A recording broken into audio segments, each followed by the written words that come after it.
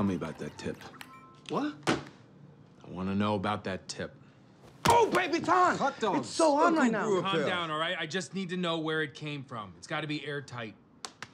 Okay. I was at a wine tasting with my cousin Ernesto, which was mainly reds, and you know I don't love reds, man. You know, but there was a rosé that saved the day. It was delightful.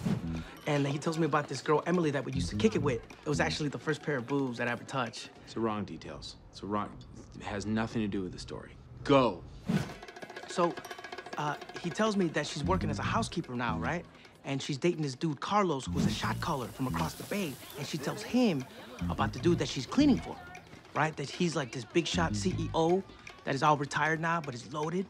And so Carlos and Ernesto are on the same softball team.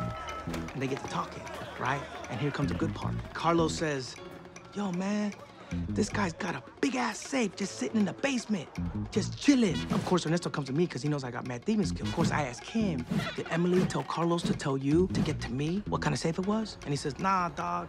All she said is that it's like super legit and whatever's in it, it's gotta be good. What? Old man have safe. And it's gone for a week. All right. There's an old man, he's got a safe, and he's gone for a week. Let's just work with that. You know what I'm saying?